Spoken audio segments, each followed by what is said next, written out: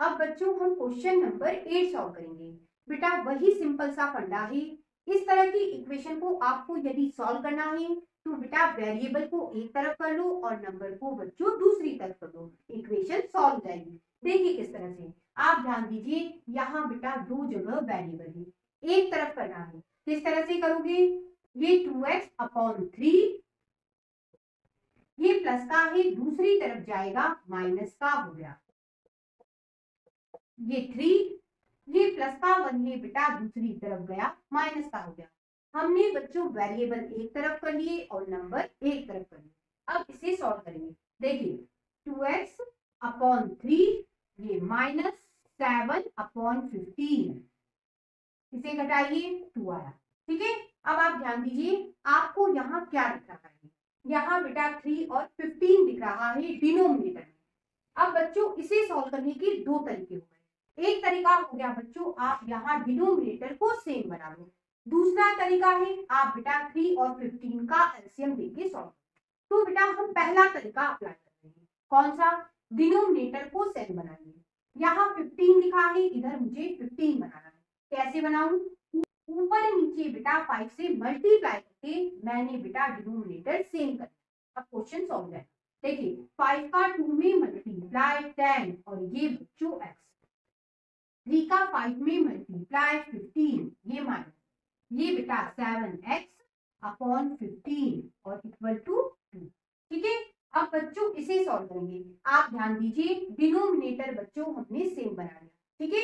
अब बेटा, जब डिनोमिनेटर सेम बन जाता है तो हम इनका एलसीएम लेंगे। तो डिनोमिनेटर में जो नंबर होता है, वही एलसीएम आता है। ठीक है? आपको इसे सॉल्व करने की आवश्यकता ही नहीं है। ठीक है? फिफ्टीन आता और फिर क्या होता है? यदि डिनोमिनेटर सेम है तो वही एलसीएम में आता है और बच्चों ऊपर लिखा हुआ जो भी है, वो साइन के साथ ही लिखा जाता है। मतलब ऊपर क्या लिखा है? टेन एक्स माइनस बिल्कुल वैसे ही टेन एक्स माइनस सेवन और इक्वल टू टू ठीक है?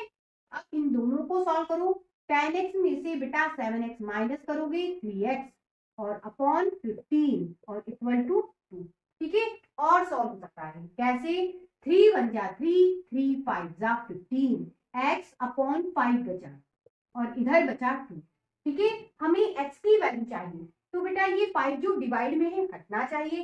कैसे हटेगा? फाइव बच्चों डिवाइड में ही, दूसरी तरफ़ मल्टीप्लाई में चला जाएगा। ठीक है? ये x इक्वल टू हो गया टेन इस तरह से बच्चों, हमने इस क्वेश्चन का सिर्फ़ और सिर्फ़ पहला पार्ट सॉल्व करा। इस इक्वेशन का आंसर आया x इक्वल टू टेन अब बच्चों, हम आंसर को चेक करेंगे। सबसे पहले बेटा लेफ़्ट हैंड साइड ले लेते हैं। Two x upon three plus one ये टू एक्स की जगह बेटा टेन रखा। अपॉन थ्री प्लस वन ये हो गया twenty upon three plus one ठीक है? अब बेटा इसे सॉल्व करने के दो तरीके हो गए। एक तरीका हो गया थ्री और वन का एलसीएम निकालो। दूसरा तरीका भी आप बेटा डिनोमिनेटर सेम बना लो। तो कैसे बन जाएगा? देखिए, twenty upon three plus one upon one है। डिनोमिनेटर सेम बनाना है। तो बच्चों, यहाँ थ्री से ऊपर नीचे मल्टीप्लाई डिनोमिनेटर सेम बन गया। ये ट्वेंटी अपॉन थ्री, ये थ्री अपॉन थ्री। अब आप ध्यान दीजिए, डिनोमिनेटर सेम बन गया। जब डिनोमिनेटर सेम बन जाए तो बेटा एलसीएम में वही नंबर आता है मतलब थ्री आएगा एलसीएम निकालोगे थ्री आएगा और बच्चों, ऊपर लिखे हुए नंबर साइन के साथ वैसे ही आ जाते हैं. मतलब ट्वेंटी प्लस थ्री कितना हो गया बेटा? ट्वेंटी थ्री अपॉन थ्री ये आ गई आपकी बच्चों लेफ़्ट हैंड साइड अब बच्चों राइट हैंड साइड की बारी. Right hand side seven x upon fifteen plus three seven upon fifteen x की जगह बच्चों हमने रखा टेन प्लस थ्री अब सॉल्व कर लेते हैं। बच्चों, ये फाइव की टेबल से कैंसिल रहा है। फाइव थ्री जा फिफ्टीन फाइव टू जा टेन क्या बना बेटा? सेवन इंटू फोर आप क्या लिख सकते हो? फोर्टीन और अपॉन थ्री और ये प्लस का थ्री और थ्री के अपॉन में कुछ नहीं है मतलब वन है ठीक है? अब बच्चों, इसे सॉल्व करने के दो तरीके हो गए। आप बेटा थ्री और वन का एलसीएम निकाल दूसरा तरीका, आप बेटा डिनोमिनेटर को सेम बना लो।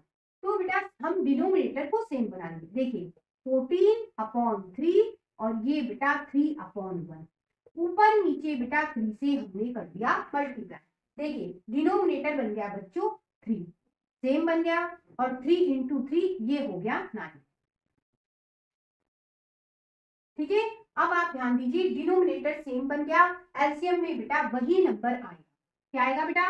थ्री और ऊपर वाले नंबर साइन के साथ वैसे ही लिखे जाते हैं। मतलब फोर्टीन प्लस नाइन जोड़िए ट्वेंटी थ्री अपॉन थ्री अब आप ध्यान दीजिए, आपने बेटा लेफ़्ट हैंड साइड निकाली ट्वेंटी थ्री अपॉन थ्री आई।